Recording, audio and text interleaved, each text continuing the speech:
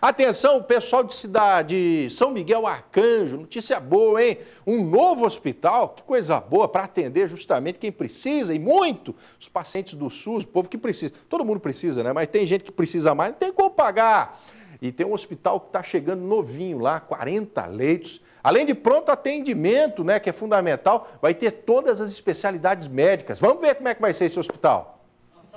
O lançamento da pedra fundamental reuniu centenas de moradores da cidade de São Miguel Arcanjo, a 42 quilômetros de Tapetininga. O projeto prevê a instalação de um novo hospital da Beneficência Nipo-Brasileira na cidade, para atender pacientes do SUS. Para o diretor e vice-presidente da instituição, o principal objetivo é prestar um bom atendimento aos moradores. Então, nós queríamos ajudar e desenvolvimento de São Miguel Arcanjo e Brasil também queria modernizar Hospital SUS também.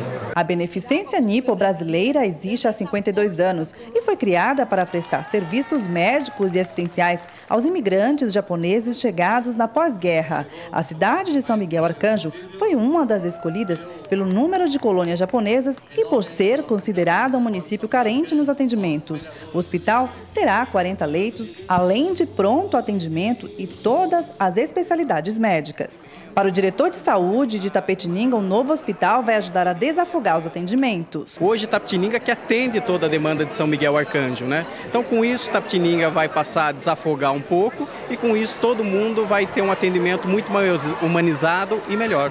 Para Márcia, o novo hospital trará mais chance de emprego. Seria uma chance, né? Como massoterapeuta, porque lá eles dão muita importância à massagem no, no Japão, né? E no Brasil ainda está meio parado, né? Profissão, agora que eles estão vendo a importância de uma massagem, como faz a, a diferença, né?